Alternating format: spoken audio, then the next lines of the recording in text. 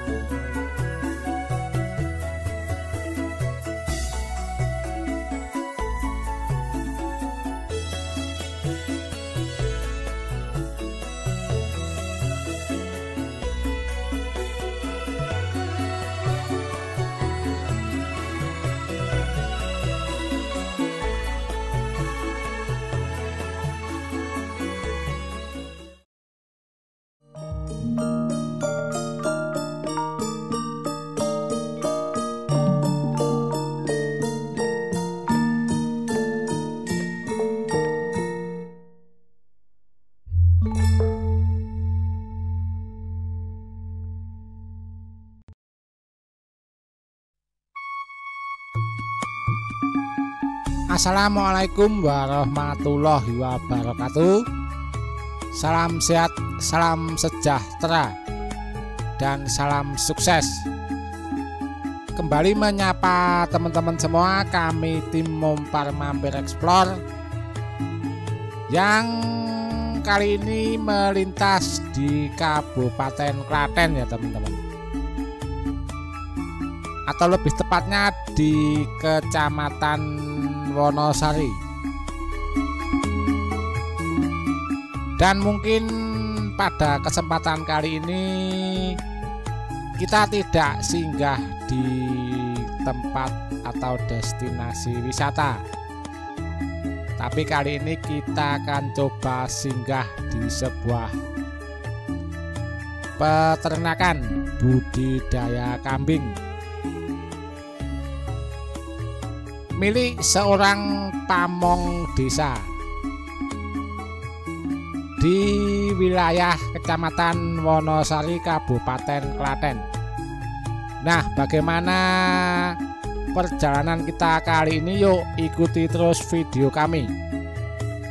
Tak lupa buat teman-teman yang masih selalu setia dengan channel kami, semoga Anda semua senantiasa dilimpahkan kesehatan dilimpahkan rezeki yang barokah dan senantiasa dilimpahkan kemudahan dalam setiap beraktivitas.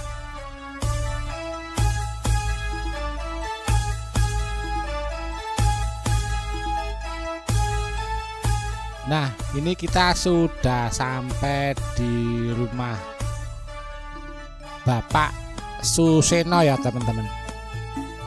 Bapak Suseno ini sebetulnya seorang pamong di Desa Kingkang, Kecamatan Wonosari, Kabupaten Klaten. Dan kebetulan beliau ini mempunyai bisnis sampingan di rumah yaitu beternak kambing ya teman-teman kesempatan kali ini kita mendapat kesempatan untuk singgah atau mampir sejenak di kandang kambing Bapak Suseno dan kita akan coba mencari tahu tentang seluk-beluk atau cara berternak kambing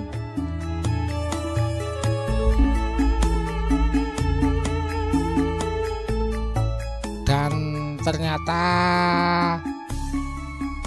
hewan ternak milik Bapak Suseno ini cukup banyak ya teman-teman.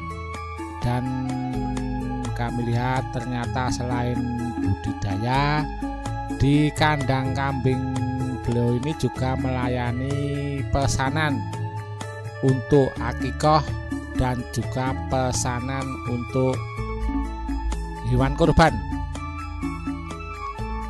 tadi kami lihat juga ada beberapa pejantan yang katanya memang sengaja dipersiapkan untuk menyambut hari raya kurban. Dan nanti kita akan coba tanya-tanya kira-kira ada berapa pejantan di kandang kambing beliau ini. Dan kita juga akan tanya-tanya seputaran harga pejantan yang sudah siap untuk dijadikan hewan kurban.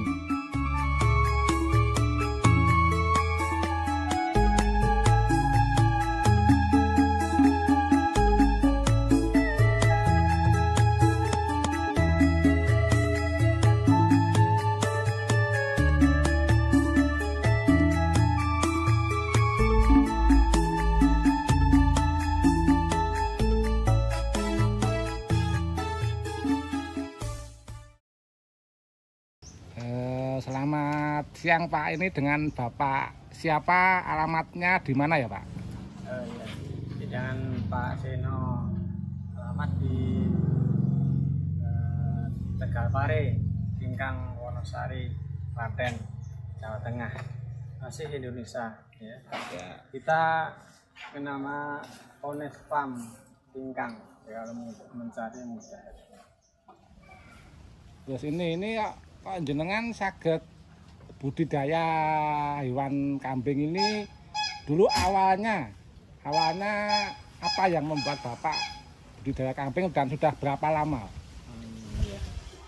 Ini sebenarnya dulu atau pertama kali itu kan saya dengan Pak RW, ya, Pak RW kan kerja di kampung.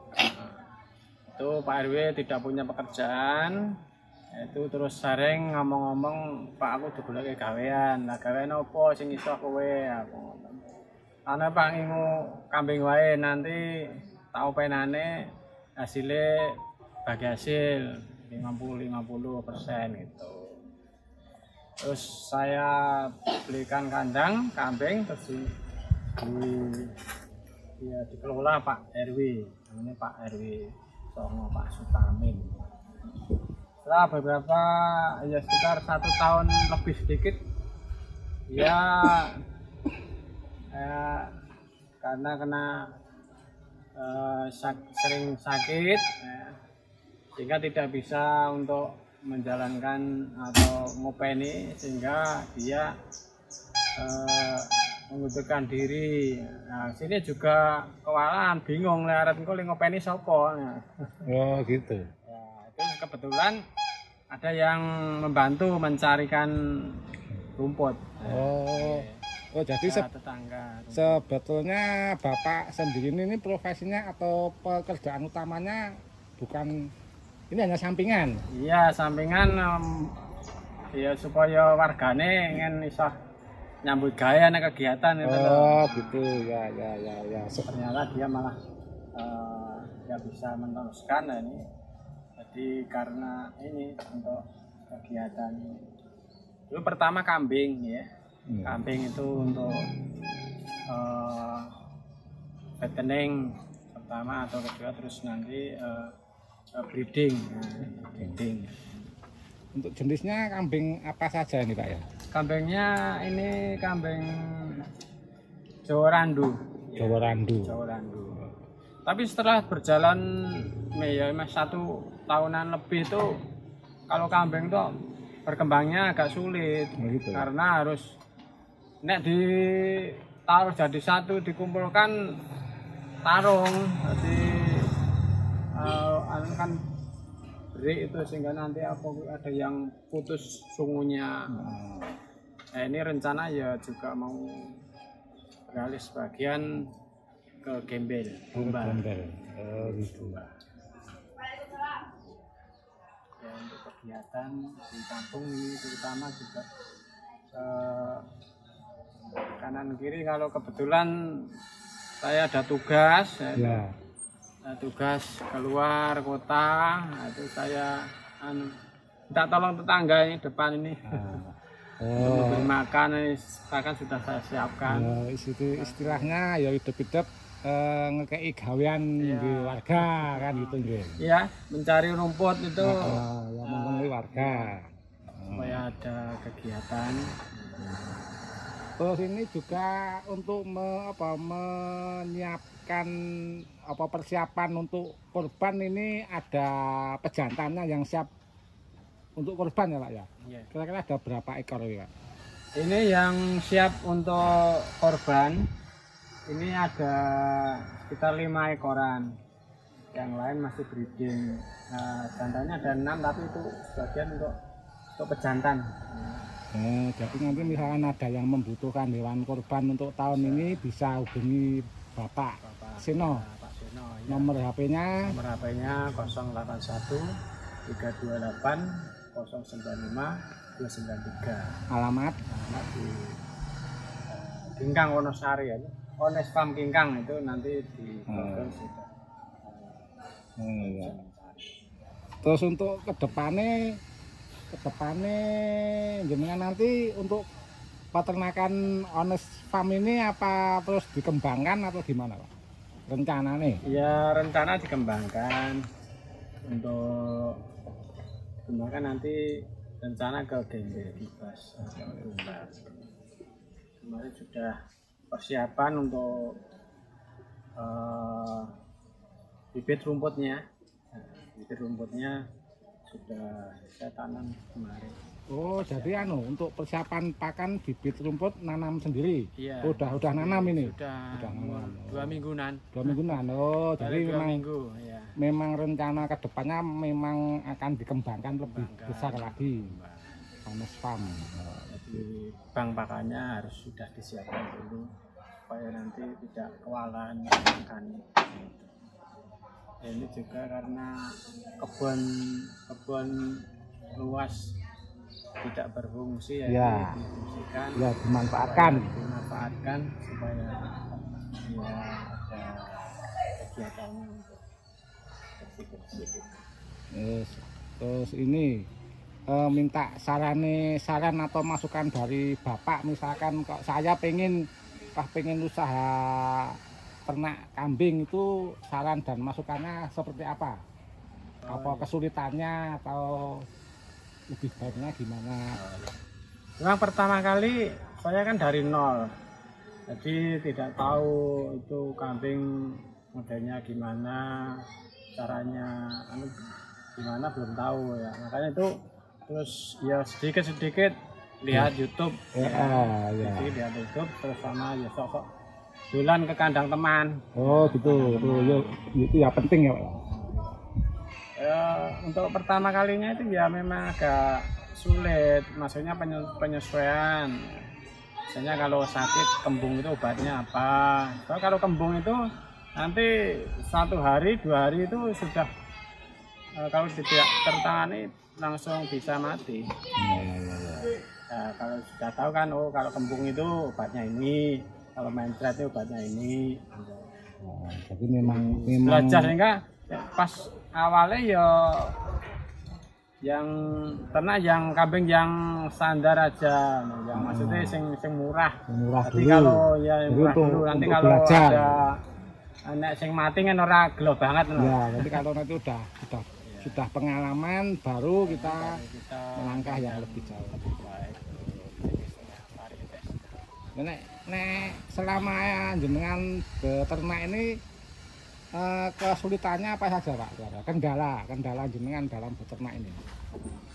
ya kendalanya kalau anu kalau hujan rendeng itu ya Iya. kan kanan kiri banyak air itu Hmm. kadang sok anu baunya itu agak anu. tapi Oh, kalau gitu. kering tidak Oh, nggak berbau bau. seperti ini kan tidak bau ini Iya. ya tidak bau ini kalau kering nggak bau makanya ini untuk eh, kowe-nya kotoran hewannya Ya. eh, setiap seminggu sekali kami ambil Dibersihkan. kami ambil kami ambil di taruh di kresek ditempatkan tempat kering supaya tidak bau Oh, yang penting kan yang penting tidak basah itu sudah Iya, tidak bau. Pak, kalau basah Bau. bau Oh, ya Ya, mengganggu. yang lain. Untuk untuk pakan sendiri di daerah Bapak ini apa ada kesulitan? untuk saat ini tidak kesulitan karena sini lahan lahan rumput banyak sekali. Masih luas. Eh, Masih di pedesaan terus jadi masih di pedesaan juga yang yang punya ternak itu belum ada yang banyak. Oh gitu. cuma lima empat gitu. Sehingga masih banyak rumput yang yang belum difungsikan atau belum dimanfaatkan. Oh, untuk eh, ini Pak, untuk untuk harga pejantan ini yang siap untuk korban ini kira-kira harganya kurang lebih berapa? Sekitaran gitu aja. kalau di daerah sini Iya. itu kan masih ekonomisan ekonomisan itu ya harganya masih yang standar Standar. bawah ya artinya ya antara 2 juta 200 sampai 3 juta nah Oke, ada yang 25 iya, siap. tapi ini kalau eh, harganya itu sekitar 3 jutaan itu Eh. banyak yang beralih ke sapi. Oh gitu. Oh banyak iya, beralih iya, iya. sapi. Ya sapi kan 3 juta udah dapat sapi. Untuk rombongan tujuh orang. Untuk perorangan ya makanya di bawah di bawah tujuh di bawah 3 juta Tiga,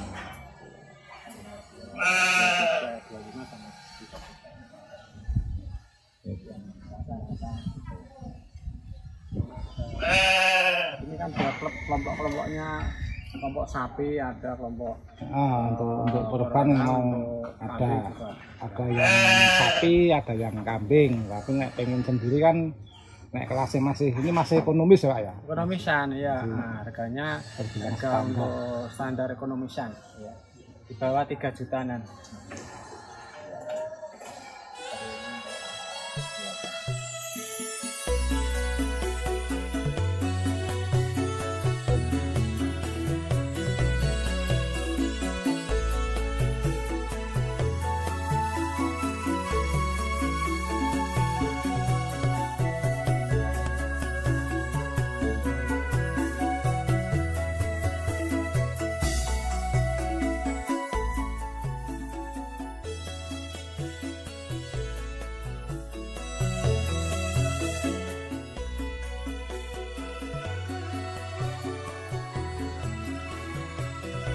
Oke, mungkin cukup ini dulu yang bisa kami sampaikan ya teman-teman.